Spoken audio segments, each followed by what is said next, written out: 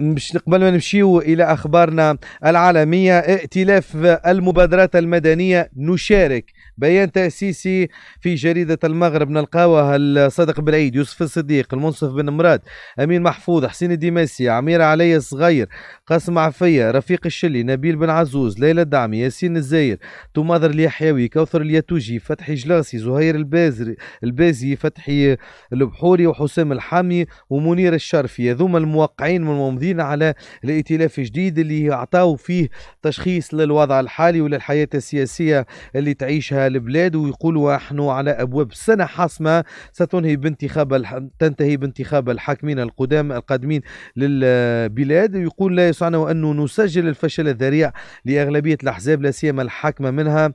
ليس في تيسير شؤون البلاد فحسب بل وأيضا في إعطاء الحد الأدنى من الأمل في إنقاذها. وحكاوا على أكثر من 80% من التوانسة اللي فقدوا ثقتهم تماما في العمل الحزبي بشكل عام وبالتالي أصبح من البديهي أنه يكون مصير التونسيات والتونسيين بأيديهم وأنه عليهم الاعتماد على قدراتهم ووعيهم بضرورة إنقاذ بلادهم من مخالب الفساد والتخلف اللي لذين تقول آه، إن بقيا يتحكمان في السلطة آه، سيهيمنان عليها لعقود طويلة ويجران يجران البلاد للخراب. يقولوا انه انه اعتماد المواطنات والمواطنين على أنفسهم يمر حتما عبر وعيهم التام بمسؤوليتهم التاريخية. ويقولوا انه آه، تأسيس ائتلاف المبادرات المدنية نشارك يتولى التنسيق مع بين المستقلين على المستوى الوطني والجهوي بغير غاية ضخ دماء جديدة تسمح بإفراز قيادة جديدة للبلاد قيادة وطنية وديمقراطية واجتماعية وحداثية. حسب تعبيرهم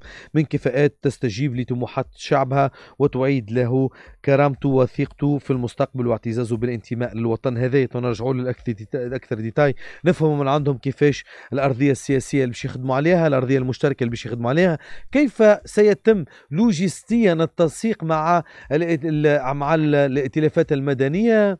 كيفاش باش يفرزوها من من السياسية لأنه نعرف مليح وأنه تقريبا جزء كبير من آه، الائتلافات المدنية اللي عندها غطاء سياسي. على كل هذا الكل نرجعوا له بأكثر ديتاي في مواعيدنا وفي تحاليلنا وفي برامجنا السياسية القادمة. tout de suite على اون مونديال